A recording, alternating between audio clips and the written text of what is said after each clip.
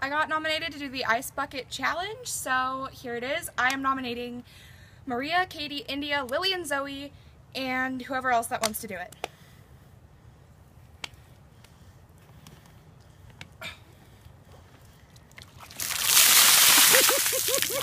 oh, it's all ogre now.